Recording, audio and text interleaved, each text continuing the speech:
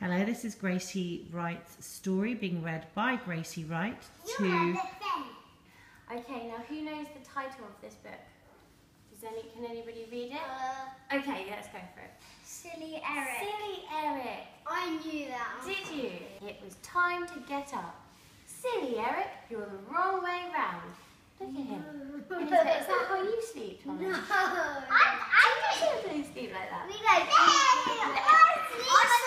sleep along. My way The round. wrong way That's silly. It's so silly. Off Eric marched on his way to school, pulling his scooter along with a piece of string. Silly Eric, you're supposed to scoot on it, not walk it like a dog. That's silly. And he's even wearing helmets. He's even wearing a helmet, just walking along the road.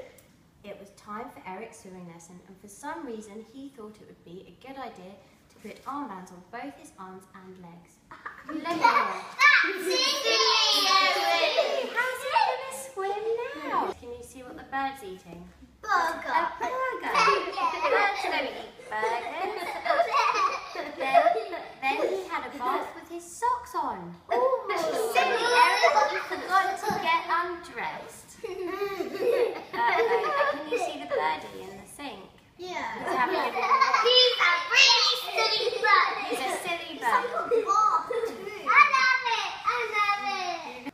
It had been a long day for Eric and he was rather tired as he brushed his hair with his toothbrush.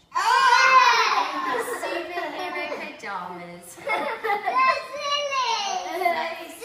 Silly Eric. Again. Again! He's so silly. Thank you guys for letting me read that to you. That was really fun.